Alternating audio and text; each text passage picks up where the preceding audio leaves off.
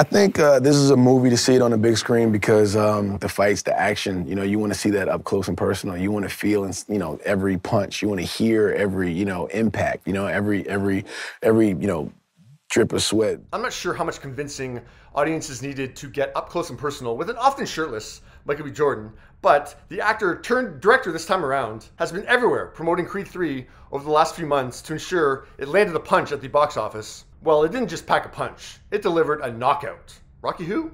The third film had the biggest debut of the series with $58 million, and once again knocking out the concept that black films don't travel. The film grossed $100 million globally in its opening weekend. After liking the Creed movie Instagram account's new poster promoting its global reach, Michael shared it on his own Instagram story and thanked audiences for showing up. The film also had the biggest opening ever for a sports film. Tessa Thompson shared that news on her Instagram story, simply adding, Wee! I think when we first started, the first one we didn't know what these films would be, and now that they're their own franchise and standalones is really, I, I still like relish that. Tessa shared some of the tongues out photos she snapped with her on screen hubby across the trilogy, writing, Here's to almost a decade of making this face and films together. Congrats on a stellar opening weekend of Creed 3, Michael B. Jordan.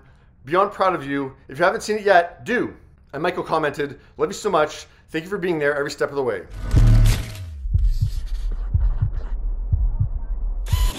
Last night, I'm sharing with y'all too.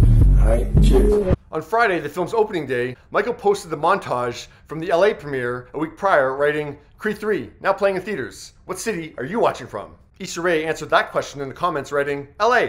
In the montage, Michael included the moment when he posed on the red carpet with the previous directors of the franchise. He also posted the photo of that moment with Ryan Coogler and Steven Caple Jr. with the caption, Trilogy.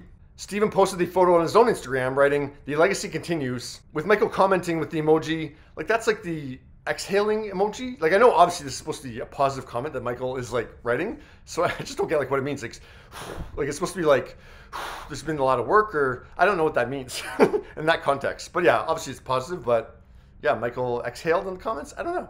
After writing and directing the first round in 2015, then completely sitting out the second round, Ryan Coogler was back as a producer and got story credit for number three.